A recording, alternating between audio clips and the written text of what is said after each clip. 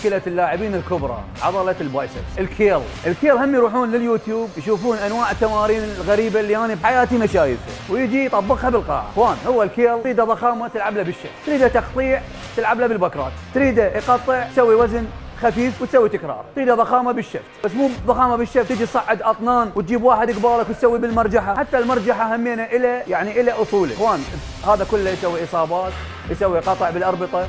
وأنتم في غنى عنها بالنسبة للزوايا مالت الكيل ال dumbbells معروف إنه يكوره الشفت يضخمه ال- ال- العريض يطيفه سعه أك- أكبر الضيق همينه راح يعضله. يعني لا تدوخون روحكم بغير أمور وتروحون لليوتيوب وتشوفون تمارين غريبة عجيبة وتجيبوها وتطبقوها بالقاعة.